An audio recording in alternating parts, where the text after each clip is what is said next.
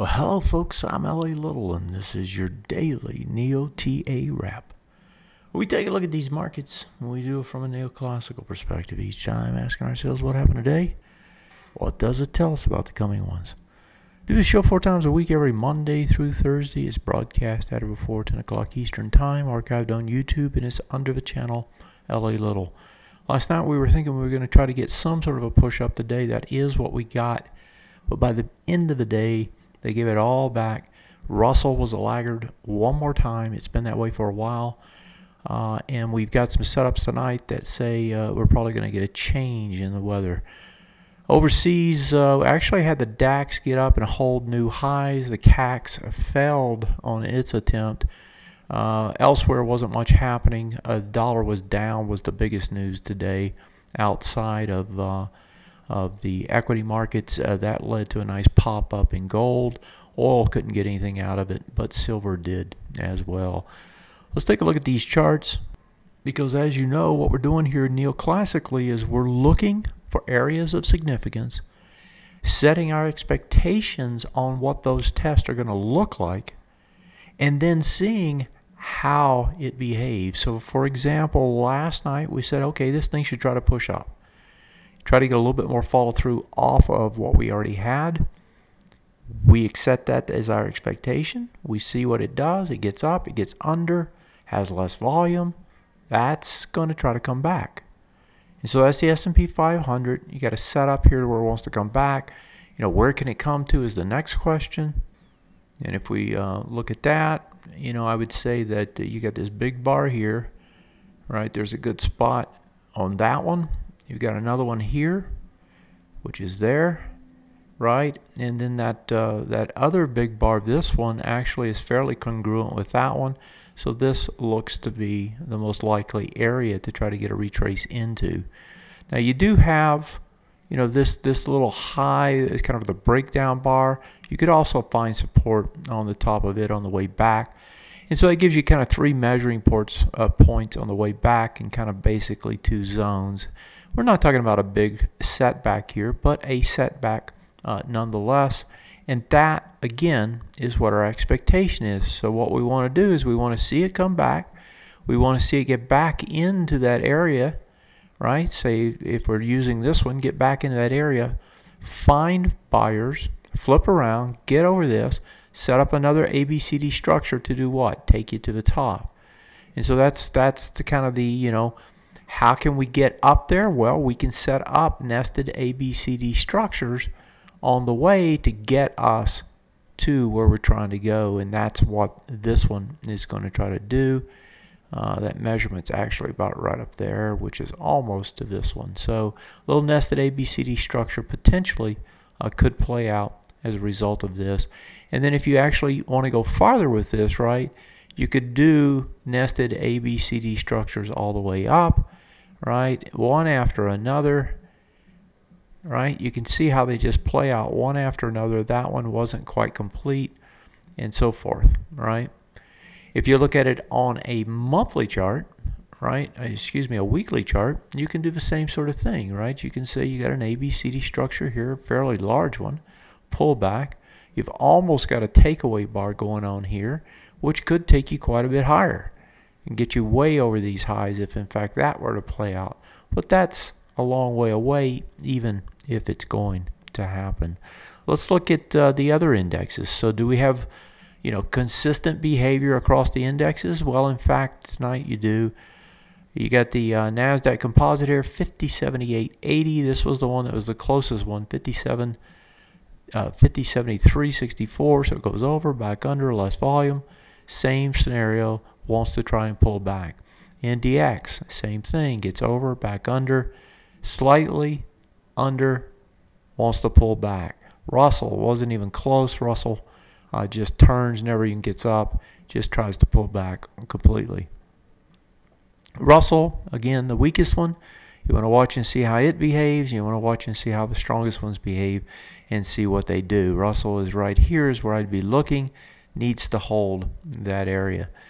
That's the indexes. If you look overseas, uh, the picture is a little bit different. And uh, let me pop over there and we'll get that up and take a look at it here. We'll start with the uh, the DAX. Uh, the German DAX gets up and over uh, the swing point high, so you get a trend transition or actually re- uh, reconfirmation on the upside. And that says, hey, this thing can go higher. You get over it, you stay over it barely, but you do stay over it. And you got a little bit less volume on the try, so slightly less volume, right? Higher price. So that says more than likely you're gonna you're gonna get an immediate retest regen. Uh, where can that go to? It would be in that area there.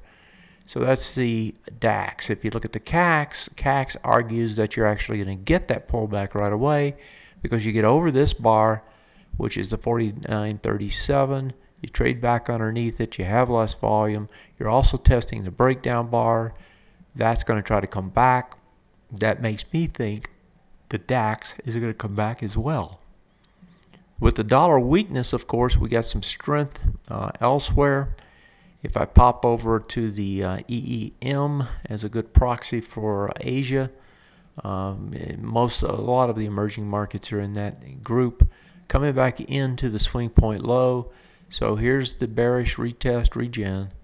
You're into it. You're going to test it tonight.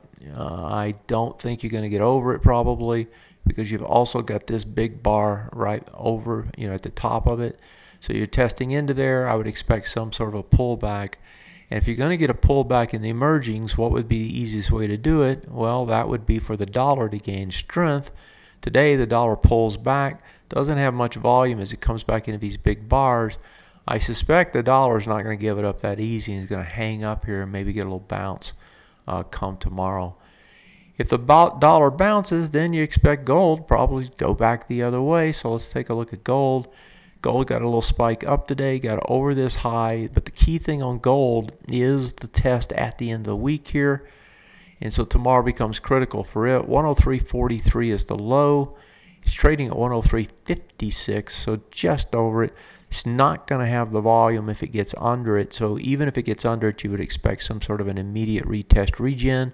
But what you'd really like to see if you're bullish on gold is you'd like to see it hold this low again. That would be two attempts to break it down, being unable to do so after a fast move to the downside. So, so you come down fast, and then you trade under it, can't hold it. Trade under it, can't hold it, or at least so far.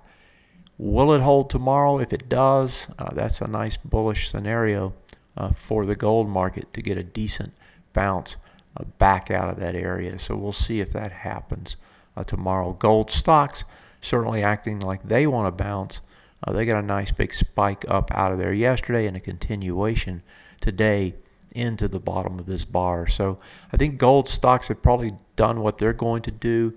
It's a question now if gold can actually hold a bounce and and stay over that uh, swing point low on a weekly basis. If we look at the silver, Silver gets a pop up, can't hold it.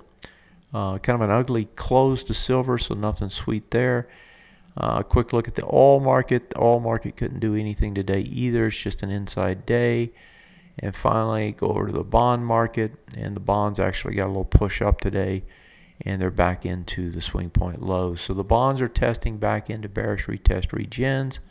You actually had one here that it's already gotten over uh, the last couple days. So now you're into the higher ones.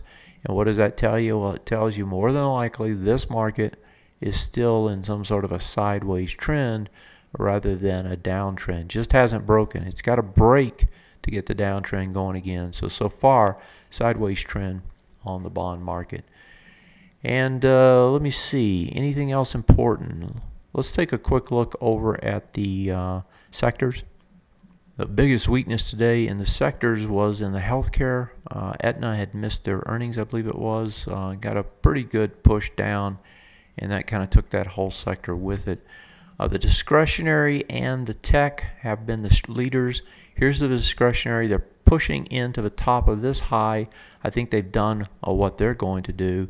And if we look at technology, so they're probably going to try to come back now, and they also have an over under. Technology, however, pushes up into this high Again, Apple was leading the charge, but if you look at Apple, Apple itself has probably done what it's going to do on this push into this 119 area. So uh, top here was 119.30. You get to 119.75. You close under it. So to me, that looks like a test failure on Apple as it comes back into this big gap area. So I would expect Apple after a nice 8% spurt, get some sort of a pullback and then try it again. So Apple's not going to help you. Sectors, for the most part, aren't going to help you. Indexes are all saying you probably should pull back. You got a failure on the CACs. The DAX looks like a, a, a an immediate retest regen. Dollar looks like it probably wants to bounce, which is going to hurt the emerging markets. Folks, Friday, good week, pullback. That's it for tonight. Have yourself a great one. Thanks for joining me. I always ask you to help me in the in the viral sense, right? Spread the word. Let others know about what I do. I think I do a pretty good job for you uh, on a daily basis, giving you a good feel for what's going on in these markets in a 10 minute, 12 minute spurt. If you think others can benefit from it, I certainly can. Let them know. Take care. Have a great one. I'll see you on the weekend. Good night.